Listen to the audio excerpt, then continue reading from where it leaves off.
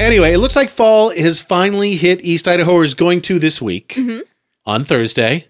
We've had 70s and 80s through September. I mean, there's a couple of rainy days. Right. Yeah. It looks like it's about to get chilly. It is. Uh, Wednesday, 72. Thursday's high, 52. Man, that's a pretty big jump. We all know what that means. It's uh, cuffing season, Mm-hmm. sweater weather, Mm-hmm. um, gray sweatpants season. hmm All the girls look for- forward to that. or I guess look down to that.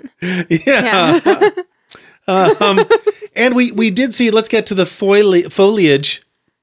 Boy, old habits die hard. I used to think the word was foliage as a kid. Oh, I could see why though. I think even adults, some adults I knew said foliage. Look Yeah. at that beautiful foliage. Yeah, which doesn't sound nearly as nice as foliage. we did see some beautiful fall foliage last week. Snake Mm-hmm. River Landing um, by the waterfront. Okay, so Snake River Parkway is the road that sort of gently curves between Sunnyside and Snake River Landing. You could say that it's kind of snake shaped. Yes. Yeah. Yeah. I wonder if they did that on purpose. and then the street that runs perpendicular, kind of in the middle, is Event Center Drive. Right. You head east to get to the waterfront, you head west to get to the MAC. Yeah. If you head east, and I just literally parked thinking, oh, there's got to be some some fun shots around here somewhere. Oh, the Life in Idaho Falls Facebook group mm-hmm. was having a cover photo contest.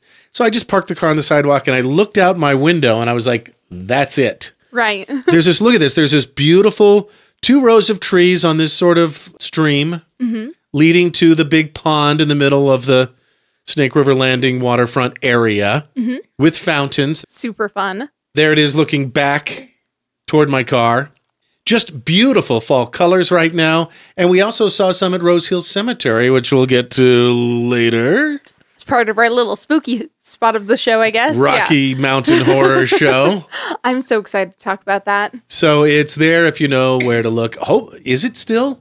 By the time this episode airs, all of the fall may have fallen. I predict All on of the fall Thursday. may have fallen. Yeah, I predict on Thursday it'll really fall. Look, I will say all I want is a warm enough Halloween to go out and have a good time. Yeah, I don't want to be freezing my butt off just to like go out and enjoy myself. I you know? remember having to wear a winter coat over my Halloween costume. Same, and I hated it, and I just don't want the kids to have to do that this year. Yeah, yeah. Yeah.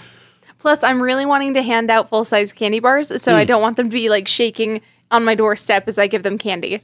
And, and speaking of, if you do need a warm up, the Give Back Soup Shack Yes. has reopened for the season. I know, I'm so excited. They're in that little sort of food truck area in Mm-hmm. front of what used to be Planet Doom, or kind of next to Bolero on 1st Mm-hmm. Street. And a portion of their proceeds goes to a charity each month. so Mm-hmm. that's they, really they cycle through different ones, which I think is the coolest part too. You can get a soup and Sammy and have a little Mm-hmm. lunch in your car. Oh, they've got some good, like they do a really back to good sandwich too. Mhm. And they got some good desserts as well. Oh, They just put their menu up. Ooh, well, I guess we gotta go.